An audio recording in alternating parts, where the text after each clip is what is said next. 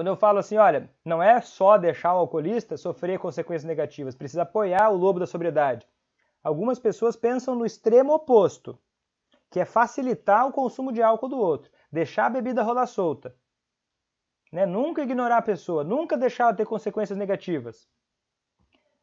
De novo, a estratégia está no equilíbrio das coisas.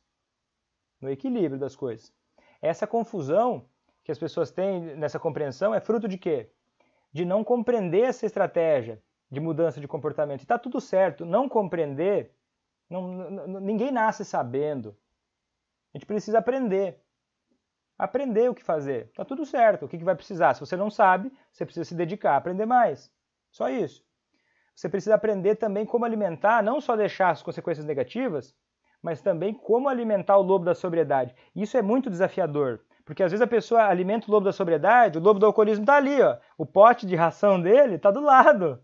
Você joga a carne para um, o outro pega, se você não souber como jogar essa carne.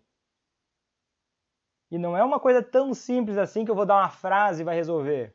É um, por isso que eu gravo tantos vídeos, né? Se não botava um vídeo só, resolvia. Para que fazer tantos vídeos? Porque você precisa de mais informações. E é, e é muito fácil as pessoas entenderem isso para qualquer outro conhecimento. Ai, Vitor, eu quero aprender a falar inglês. Não vai ser uma frase só. Não vai ser uma aula só. Entende? Entende? Não, não quer dizer que você não vai conseguir. Que às vezes a pessoa desanima. Fala, ah, Vitor, é difícil demais. Calma. Calma.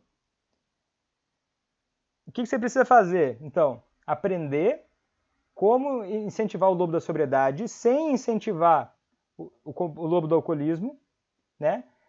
E ficar atenta ao seu impacto no comportamento do alcoolista. Qual lobo você está alimentando? Porque o tempo todo você está alimentando algum. Você querendo ou não. Você ignorando essa lei da natureza ou não. Você é regido pela gravidade, mesmo se você não souber como é que ela funciona. Se você pular, você vai cair, não é mesmo? Então você ficar atento ao que, que eu faço, o que, que eu estou alimentando no alcoolista. Né? Porque às vezes você acaba alimentando a coisa errada e nem percebe. Você precisa literalmente mapear o comportamento do alcoolista e o seu próprio. Mapear, é conhecer, falar assim, ó, cara, o que, que será que está fazendo? O que, que ele acha de positivo em beber? E o que, que poderia incomodar ele? O que, que tá de, tem alguma coisa errada aqui? Ele quer beber ainda. O que está de errado aqui? Separar e ter essa postura reflexiva. O que está de errado aqui? Onde é que eu entro nessa história? Que em algum lugar você está entrando. Querendo ou não.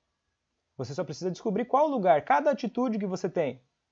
Olha, isso que eu estou fazendo. Ah, eu vou chamar ele para tomar um vinho. Hum, será que isso. E vou falar que eu vou controlar o vinho dele. Será que isso eu estou incentivando o quê? Ou vai lá e ele, você compra bebida para ele beber em casa, para ele não sair, para não beber na rua. Né? Ah, melhor beber em casa do que na rua, Vitor. Qual lobo você está incentivando? Né? Qual lobo você está incentivando? Você pode proteger ele hoje, mas daí você deixa uma margem muito maior amanhã para ele. Porque não vai dar para segurar ele em casa todo dia, não é mesmo?